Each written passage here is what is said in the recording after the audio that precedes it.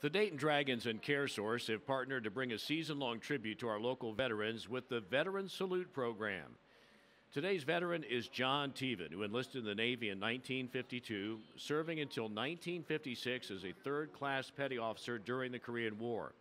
He was stationed at Tacoma Naval Base for 10 months and then reported to the USS Philip, located in Pearl Harbor, Hawaii, in April of 1953.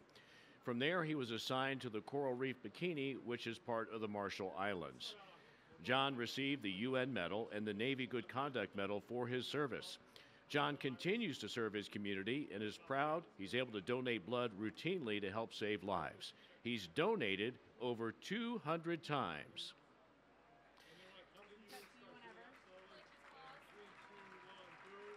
Dragons fans, please welcome to the ballpark today's honoree, John Teevan.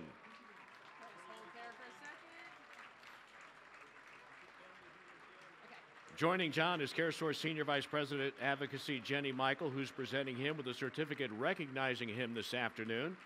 Please join CareSource and the Dayton Dragons in thanking John Teevan for his service to our country and to the Miami Valley.